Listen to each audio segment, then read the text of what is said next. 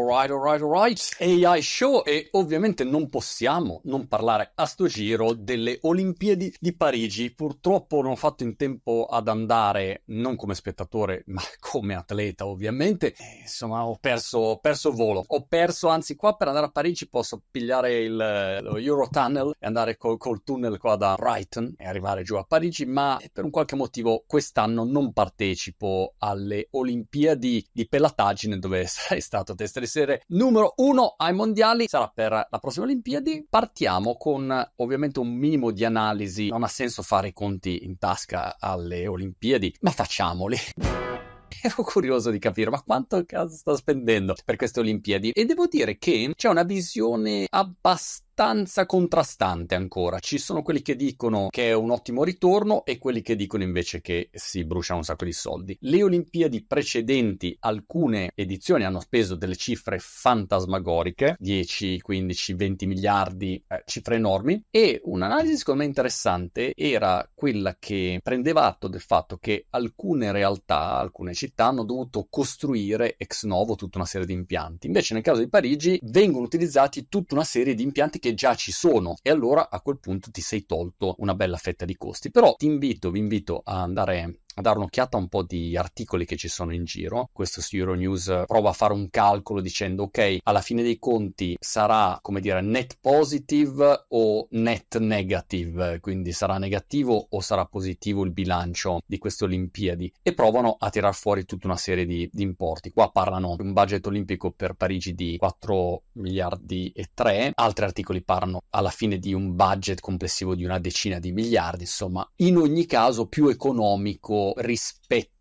a edizioni precedenti. E il motivo è quello lì, un po' una presa d'atto anche del Comitato Olimpico che ehi, se devi fare un'edizione devi costruire da zero tutti gli impianti è un casino, usare il più possibile gli impianti che hai può aiutare a ridurre i costi e questa può essere un po' la motivazione per cui Parigi tutto sommato potrebbe portarsela a casa not too bad, ha venduto ovviamente uno spataffio di biglietti, l'interesse sulle Olimpiadi poi ci sono anche un sacco di polemiche inevitabilmente quando ci sono grandi eventi ci sono anche un sacco di polemiche alcune giustificate, altre meno, ma in ogni caso è evidente che le Olimpiadi attirano un sacco di attenzione e la gente guarda un sacco di roba, guarda un sacco di sport che non avresti mai visto in vita tua, perché con lo spirito olimpico uno segue tutte le gare, segui la tua nazione, allora ti interessi anche su tanti sport, anche minori come può essere ping pong, che ricordo tennis tavolo e sport olimpico, adesso ovviamente ne parliamo, non possiamo parlare di ping pong alle Olimpiadi, potrei fare sette puntate solo su ping pong alle Olimpiadi, però questi sono un po' i numeri olimpici. Una stima di 10 miliardi di costi da dimostrare se il ritorno sia positivo o negativo. Potrebbe essere positivo. Il calcolo, poi ci sono miliardi di diverse formule che vengono utilizzate per valutare l'impatto, perché puoi valutare l'impatto, diciamo, entrate e ricavi, ma poi valutare anche l'impatto complessivo su quello che è l'immagine. E allora il fatto che tutti vedono Parigi e poi in futuro comunque ci sarà più turismo, ci sono tutta una serie di benefici che arrivano poi anche poi post non si esauriscono rispetto a quella che è la durata delle Olimpiadi. Dall'altro lato, la cerimonia, ad esempio, d'apertura è stata molto criticata. Se tu fai una cazzata in mondovisione, questo può avere un impatto negativo e via così, no? Quindi ci sono tante visioni su questo argomento. Era così, una curiosità quando uno si chiede ma queste Olimpiadi quanto costano? Parecchi miliardi e poi ovviamente bisogna capire quali sono i ritorni complessivi. L'altra cosa che non possiamo non notare è l'utilizzo dell'AI all'interno del contesto olimpico. Forse questa è la prima vera edizione con l'intelligenza artificiale al centro. Non è ancora centralissima, sono tanti esperimenti, test, però vedi che da qua in avanti l'AI c'è festa finita. E come viene utilizzata, ti chiederà l'AI, anche qua un sacco di utilizzi sui contenuti, chiaramente, su quello che possono essere le riprese per generare gli highlights generare nuove ri- tipologie di riprese che magari prima era difficile da fare. L'AI è usata per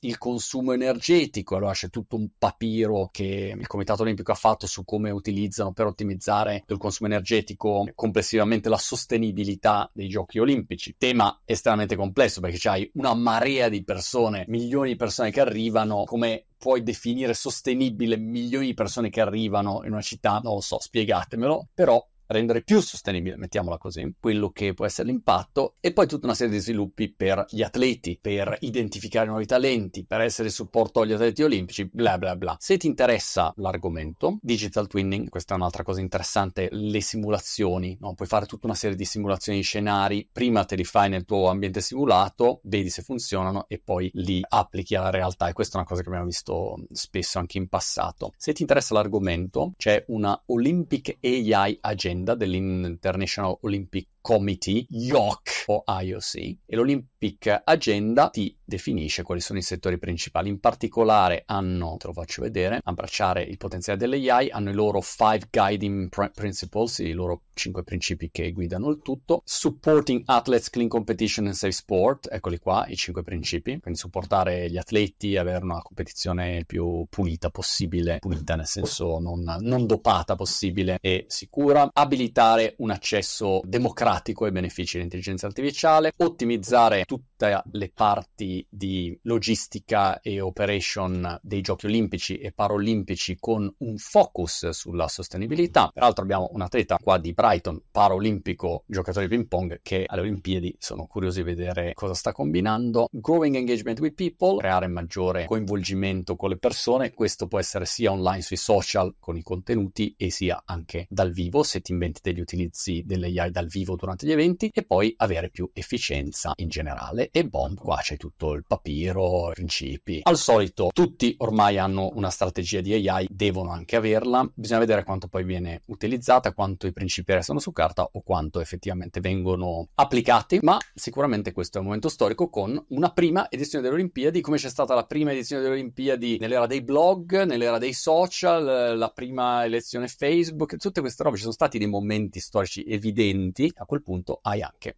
la prima Olimpiade, intelligenza artificialosa. Ma andiamo al vero eroe in questo momento delle Olimpiadi sui social, è il tiratore turco Youssef Dikech. Non so se si pronunci così Dikech, insomma, lui, Youssef pratica sui social sono solo immagini sue. In questo momento sono solo immagini sue. Perché è diventato così memoso e virale, così come curiosità? Lui e anche la tiratrice, che è lei in alto, eccola qua, sono diventati virali entrambi. Lei per questa flemma estremamente composta, questa immagine un po' da Avengers, da film Marvel, che dici wow, esiste anche nella realtà, non sono solamente supereroi che, o super supereroi che esistono nei sogni o nei film, ma esistono anche nella realtà. Lui invece, con un pelo di panzetta, aggiungerei, è diventato virale perché tutti gli altri lo vedi, no? Hanno la lente, il coso, il visore, sembrano super tecnologici. E lui invece si presenta lì con gli occhialetti, eh, aspetta che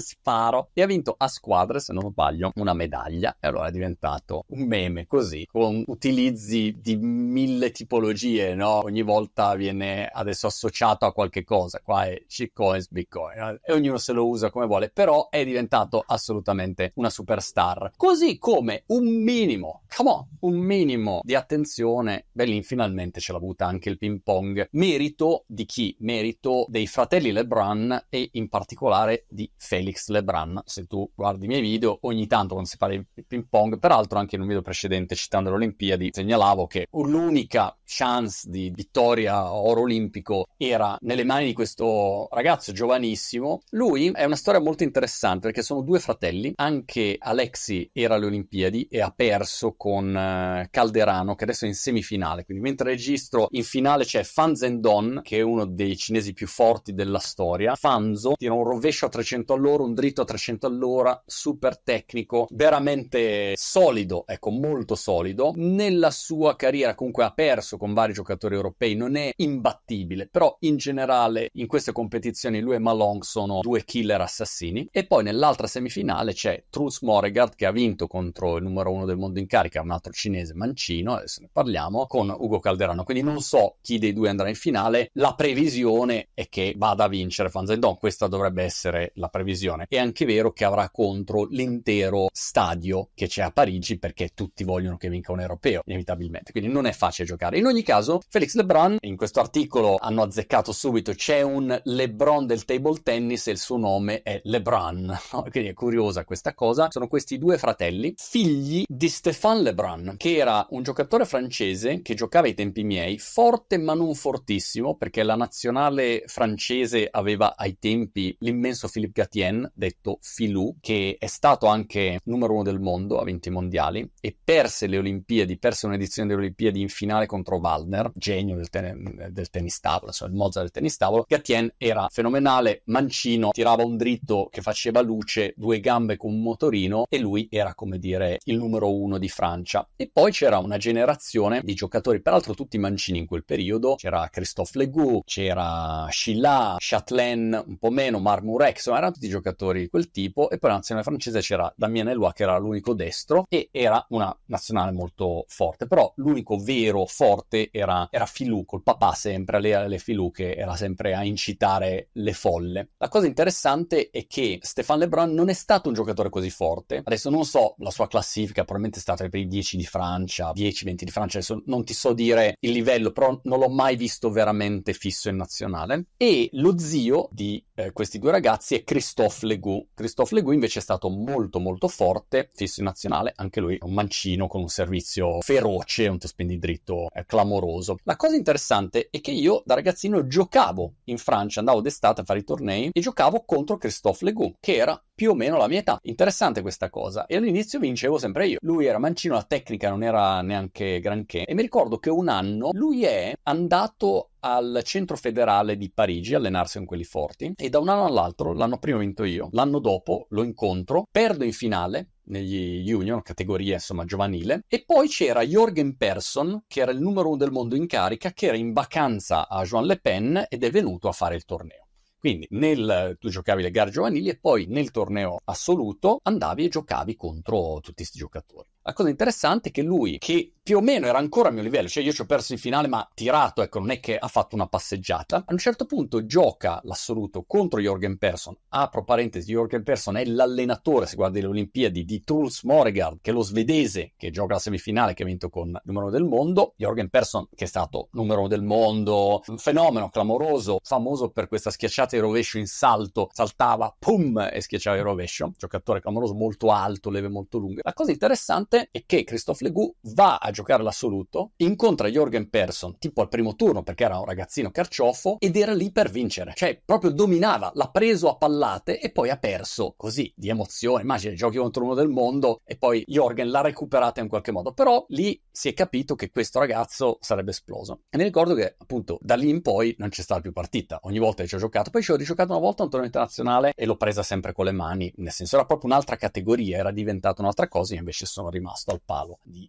una mediocrità internazionale come giocatore. Però i due fratelli Lebrun hanno questo patrimonio alle spalle, quindi hanno una tradizione francese costruita su Gatien, che è stato il giocatore più forte, anche una tradizione precedente perché Secreten, Di cioè ha avuto sempre tanti giocatori la Francia forti, ma non a quel livello lì e poi hanno trovato questi due fratelli che sono fenomenali. In particolare Felix Lebrun fa una cosa strana, gioca a penna, cioè mentre tutti i giocatori giocano all'europea, cioè tu prendi la racchetta e impugni all'europea, no? fai il rovescio e fai il dritto, lui invece impugna a penna, cioè impugna, ti piace questa mia racchetta da ping pong, come impugnano gli orientali, che è stata un'impugnatura che per anni era considerata vincente. Poi gli occidentali hanno giocato, hanno cominciato a giocare fare rovescio molto forte, dritto molto forte, soprattutto a incollare, quindi quando tu colpivi, capito, davi veramente molto effetto, la palla andava molto forte e tutta quella generazione lì, i Wagner, i Persson, hanno vinto contro i cinesi che ancora giocavano tradizionale a penna, poi mettevano queste gomme puntinate, schiacciavano in sostanza, non facevano top spin, schiacciavano, bloccavano, schiacciavano, servivano in modo molto arcigno, però erano molto limitati. Dopodiché c'è stata una grande evoluzione, anche i giocatori a penne si sono messi a giocare con queste gomme molto perfette performanti, però avevano un limite sul rovescio, no? Perché tu giocavi a penna e poi al rovescio dovevi andare a fare un movimento molto strano, molto passivo. Fino a quando alcuni giocatori, Van Gao in particolare, fu il primo, quantomeno a livello internazionale, a venire fuori che quando gli dava la palla sul rovescio, al posto di girare e colpire con la stessa faccia del dritto, a quel punto ha cominciato a colpire con la parte sotto e quindi a fare il toe spin anche col rovescio. Una cosa stranissima perché prima non si era mai visto. Apro parentesi, Van Gao è l'allenatore in panchina di Fan Zhendong, quindi insomma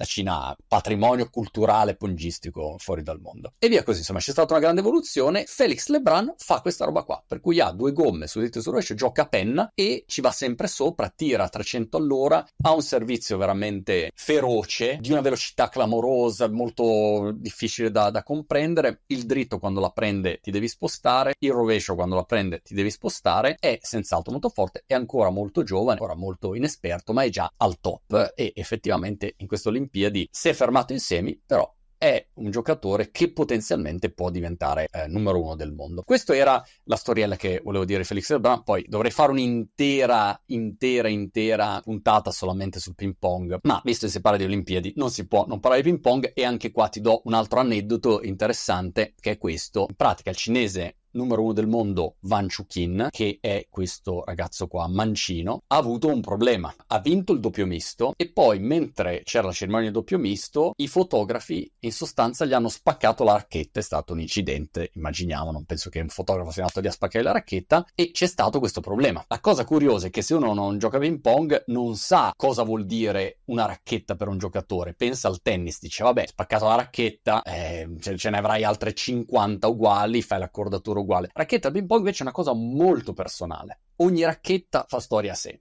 perché è un legno particolare che magari tu hai per anni, ha un'impugnatura particolare, ha come dire delle caratteristiche che la rendono veramente tua, non è solo un fatto affettivo, è proprio che una racchetta è diversa dall'altra, non c'è niente da fare. Quindi le gomme le puoi avere simili o uguali, poi anche lì non è una scienza esatta, però diciamo tendenzialmente le gomme possono essere uguali, ma il legno è una cosa molto molto delicata, molto particolare. Rompere la tua racchetta principale, ovviamente c'è il backup, però rompere la tua racchetta principale è pessimo. Cioè, è, non so, come dire, ho rotto l'automobile Formula 1, la princip- l'auto principale, e adesso mettiamo, come dire, quella non rodata, non testata. Insomma, non è poco. E questo, a mio parere, spiega la sua prestazione contro Truls Morgard che l'ha portato a perdere. Non ci aveva mai perso, ha giocato malissimo oggettivamente come match. Dall'altro lato è anche vero che Truls Morgard è un, un mezzo fenomenello, è uno pazzo furioso vero, gioca strano, non è che ti dà mai una palla uguale all'altra, richiama un po' Valner a livello di creatività artistica, però è, è oggettivamente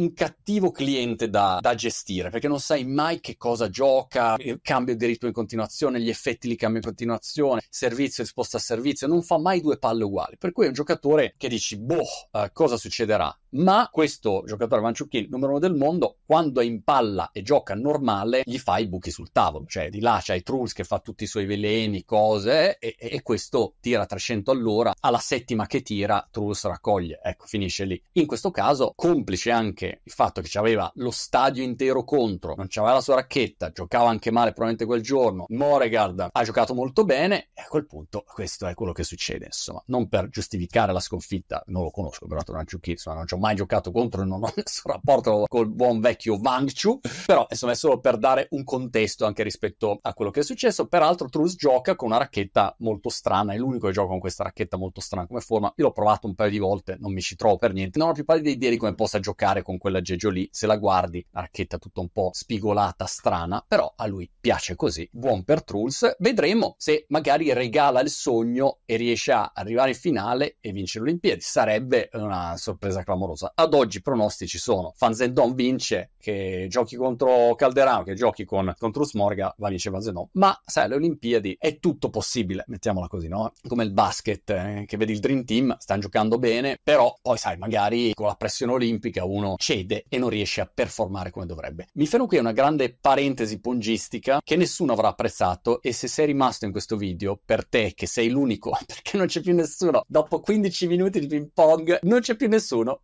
scrivimi nei commenti se ci sei ancora, dimmi ciao Mod, sono io, so, anch'io gioco in Pong, ecco perché se no non c'è motivo per cui tu resti. Passiamo a parlare di AI. Che voglia c'ho di parlare di AI dopo aver parlato di ping pong in questo modo, però eh, parliamo di AI perché ci sono al solito un po' di cose interessanti. Anzitutto, OpenAI sta rilasciando finalmente la modalità avanzata vocale di ChatGPT, quello che avevano annunciato tempo fa, ChatGPT 4o, il famoso scandalo di Scarlett Johansson con la voce, e ci sono un sacco di video interessanti. Non vedo l'ora di provarlo perché è divertente, carino e gli fanno fare varie cose. Vediamone una. Sure. Here's a quote from T.S. Eliot's Little Gidding We shall not cease from exploration. Okay, great. Can you do it in stentorian tones? Absolutely. We shall not cease from exploration. Excellent. And the end now of do it like you're kind of laughing at a joke the whole time. Allora, due cose interessanti. La prima cosa interessante di sta vicenda è che per la prima volta c'è la possibilità di avere una relazione vera, una conversazione efficace e una conversazione si basa sulla possibilità di interrompere. Sarà maleducato interrompere, ma lo sai com'è? Una conversazione non è io parlo, stai fermo zitto così, in silenzio non dici niente, poi parli tu, poi parlo io. No, no, cioè la conversazione è anche solamente ah sì, ok, eh no, ma scusa, è un continuo, non interrompersi a vicenda. Le conversazioni hanno questa natura e qua per la prima volta lo puoi fare fare. Fino ad oggi invece la conversazione è molto robotica, a volte anzi io sono in auto e sono lì a parlare con ChatGPT, quando lui parte a parlare non si ferma più, gli dici fermati, fermati, questo va avanti, si va i cazzi suoi, dice vabbè allora fatti monologhi e che cosa stiamo qua a fare. Invece in questo modo questo cambia. L'altra cosa è che gli puoi chiedere di avere varie intonazioni, diverse intonazioni ed è quello che sta facendo questo signore. Okay, here goes. We shall not cease from exploration, and the end of all our exploring. Now do it in chthonic tones, chthonic tones. Delving deep for this one. We shall not cease from exploration, and the end of all our Great. exploring. Now do it like you're a, A stand-up like- comic trying to get people to laugh. Fallo in modo comico per far ridere la gente. We shall not cease from exploration, and the end of all our exploring will probably be to find out we've been looking for our glasses while they've been on our heads the whole time. Great. Now do the quote, except you are surrounded by animated cheese, and the cheese keeps getting closer. That's making you increasingly nervous, but you're also not sure why the Ok, adesso devi essere nervosa. We shall not cease from exploration, and the end of all our exploring is this cheese moving closer? Se ti interessa, vai a vedere, ci sono un sacco di esempi interessanti, così come ci sono un sacco di esempi interessanti di Kling AI, che è l'alternativa cinese a Sora, ed è un sistema per generare video da testo. Ti faccio vedere alcuni video, questo video di un cavallo. Oggettivamente non ti saprei dire se è fatto con AI oppure no, così per me sarebbe vero, oggettivamente vero, una ragazza sorriso. È incredibile la qualità se, se ci pensi. Qua c'è una semplice descrizione, no? C'è una descrizione che genera questi video, immagini, chiaramente. Aspettiamo Sora. Mi piace queste immagini. Qual era il gatto con gli occhioni giganti, sempre così? Il gatto con gli stivali o non so quale altro gatto fosse, quale film d'animazione, era un classico, no? Il, il gatto con gli occhioni.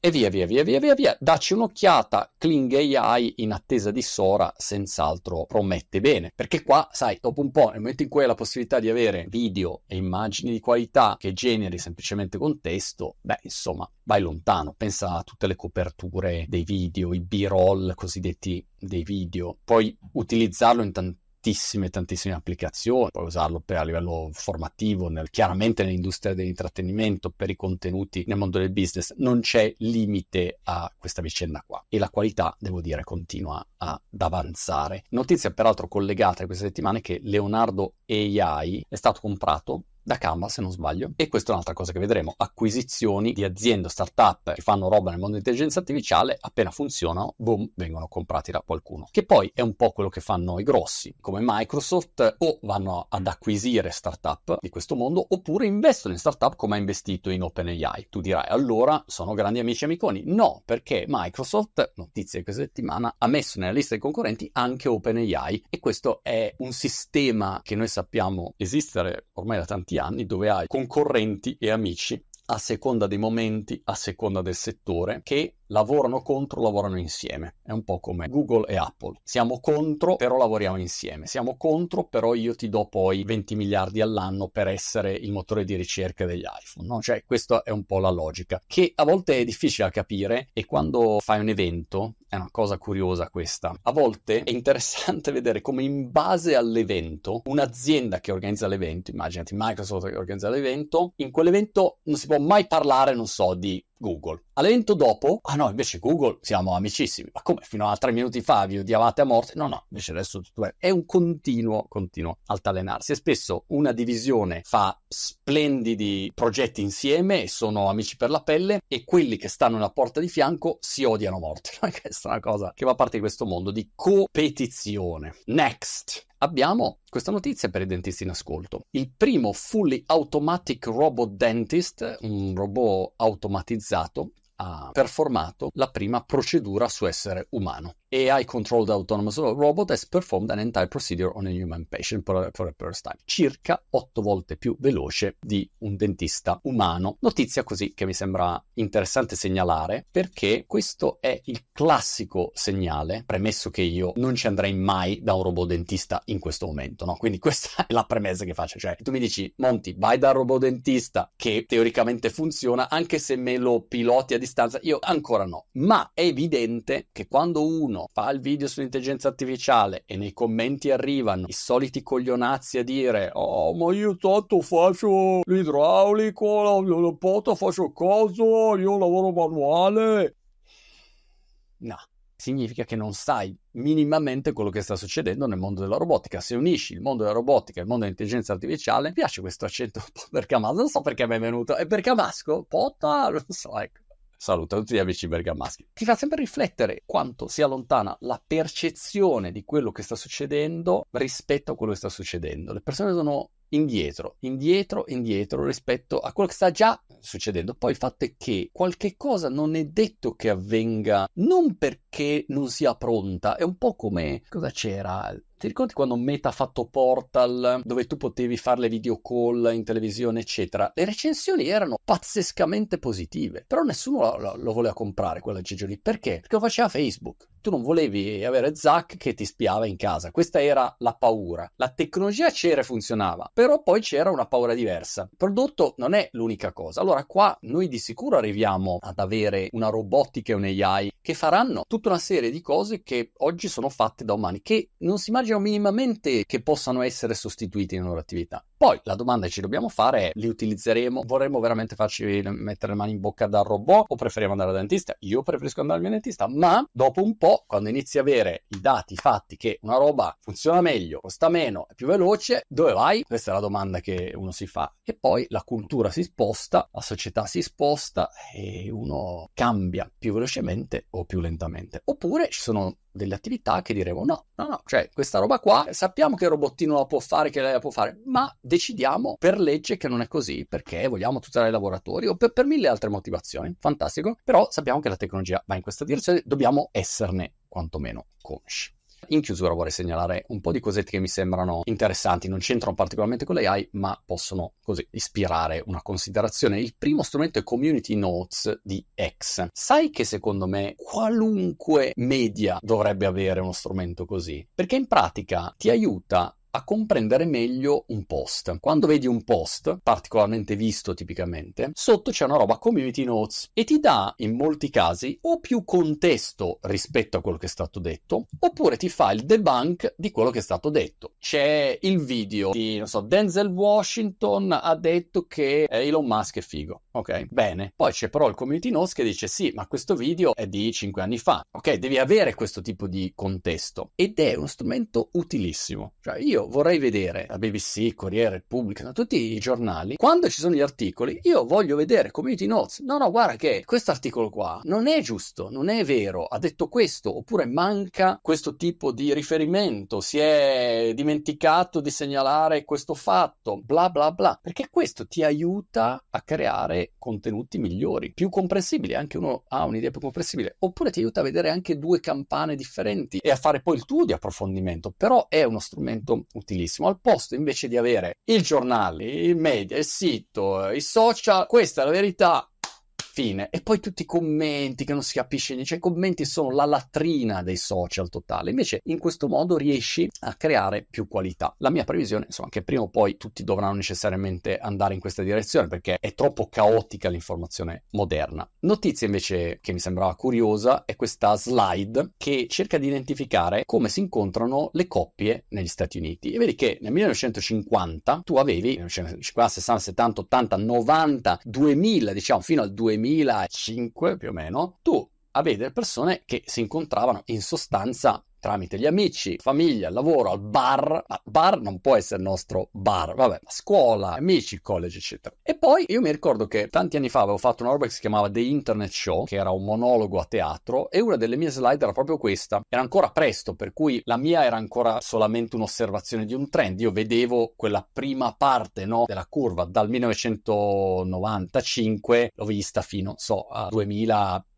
2010, adesso non mi ricordo quando ho fatto Internet Show. La cosa interessante è che quando facevo vedere questa slide a teatro, facevo questo monologo dicendo oh, guardate che la direzione è questa, le persone si incontreranno online, bla bla bla. La gente proprio diceva ma questo è scemo, è proprio scemo. Non c'era un'altra valutazione, ma non è vero, ma figurati se tu vuoi incontrare la tua anima gemella, il tuo partner, una persona con cui avere una relazione duratura, ecco si intende, la vuoi incontrare online, sembrava una roba veramente da o da gente strano, da pervertiti, non so, era una roba così. E oggi tu vedi invece la totale esplosione e dall'altro lato il crollo invece di tutte le altre modalità, che non è un aspetto positivo, intendiamoci, non penso affatto che sia un aspetto positivo, è soltanto un trend che fotografiamo e diciamo, ah ok, al solito, quando tu provi a segnalare dei trend prima che succedano, la gente ride o ti prende per il culo, pensa che tu sia strano. Next, a proposito di trend, di cose che succederanno, secondo me questo è molto interessante. Non riguarda le AI, ma riguarda Bitcoin. Non si può non segnalare il fatto che Cantor Fitzgerald lancerà una unit di business per creare degli strumenti di finanziamento per Bitcoin. E tu dirai, e chi se ne fotte Monti?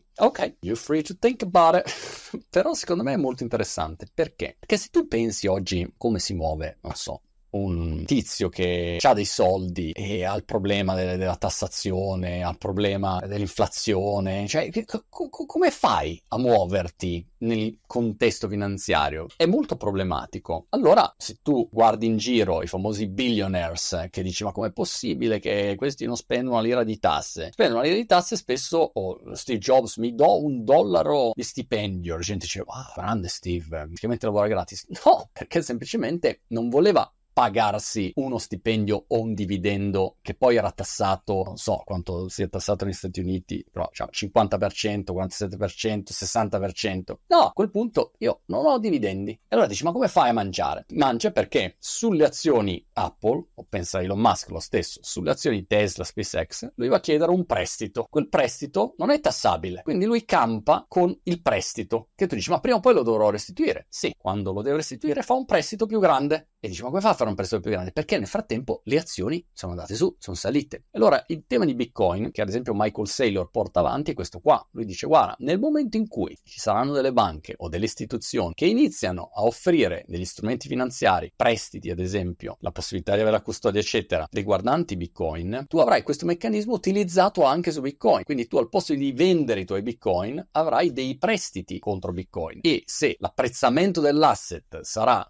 come molti prevedono, insomma, grande, grande crescita, a quel punto seguirai lo stesso discorso, cioè seguirai lo stesso playbook che hanno usato i vari Elon Musk, Jobs e mamme di Goldrake in questi anni da un lato tieni il tuo asset, dall'altro lato hai la possibilità di fare la tua vitaccia e pagarti le bollette e avere anche un vantaggio fiscale. No? Cioè, quindi questo è tutto il meccanismo che nasce da questa vicenda. Però lo segnalo, ecco, perché nell'ultima Bitcoin Conference si è parlato di tutto, però questo è un aspetto che è uscito un pochino in sordina e secondo me invece è una cosa da considerare. Ancora una volta è un'intera industria che si sta strutturando intorno a quello che è Bitcoin. E qua nei commenti arriverà il solito coglione coglionazzo a dire ma Bitcoin non ha valore. Prima di commentare fai un grande respiro, studia, passa 10 ore a studiare e poi se vuoi fare quel commento fallo, però non farlo a caso. Grazie. Ultima segnalazione invece è una teoria cospirazionistica che ti voglio segnalare. C'ho la teoria del gomblotto oggi. La teoria del gomblotto è questa qua. ho visto un'intervista con Marchetto Zuckerberg. Era Zuckerberg e il founder, fondatore, amministratore legato di Nvidia. Allora, ad un certo punto parlavano degli occhiali, presente quelli che fanno con luxottica, la realtà aumentata, eccetera. E diceva, eh, effettivamente, sai, per mettere dentro tecnologia negli occhiali, tu hai bisogno che l'occhiale non sia piccolo piccolo, perché è un casino quella roba lì. C'è bisogno che l'occhiale invece sia più più grande. E allora la mia teoria complottistica è che noi vedremo una spinta a livello fashion per avere oversized glasses, avere occhialoni grandi, da clown, capite? Presenti clown che hanno l'occhialone, sempre più grandi. Il motivo, molto semplice, sarà che le aziende tech per poterti vendere quella tecnologia, prima devono fare in modo che tu pensi, ehi, questo è molto figo avere l'occhialone gigantesco stile clown, un mega occhialone. Una volta che ti ho convinto che quel frame è giusto, poi a quel punto ti upgrado vendendoti quello invece più tecnologico. Bam! Un po' come quando bisognava convincere la gente che la, la colazione era le uova e il bacon. Ah, cioè, dove sta scritto che le uova e il bacon siano la colazione? Era tutta la campagna no, di PR fatta apposta per convincerti che quella fosse una buona colazione. Azet, qua è la stessa cosa. Prevedo complottisticamente che Mark nel buio della cameretta chiamerà le sue agenzie di PR eh, sparse nel mondo e dirà ragazzi campagna da qua ai prossimi 24 mesi occhialone extra large deve diventare la cosa più figa del pianeta. Staremo a vedere se resterà solo una teoria complottistica o diventerà realtà e noi ci vediamo la prossima settimana. Un abbraccio ciao